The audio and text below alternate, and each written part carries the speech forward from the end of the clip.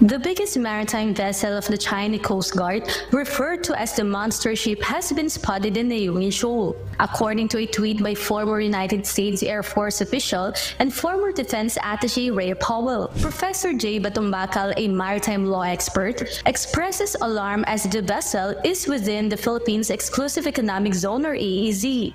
Tingin ko, ginawa din nila yan para ma-intimidate tayo dahil ang nadinig ko, eh, dineploy nila malapit sa Ayungin Shoal, no? kung nasan yung BRP Sierra Madre.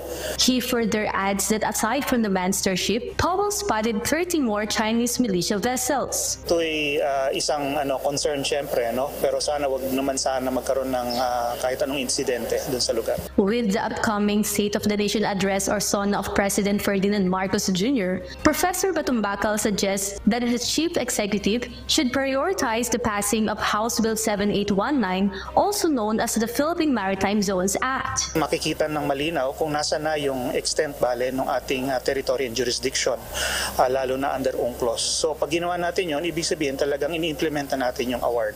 Meanwhile, the Department of National Defense or DND, National Security Council, and China's embassy has yet to release statements about the matter. Bernadette Tinoy, UNTV News at Rescue. We serve the people, we give glory to God.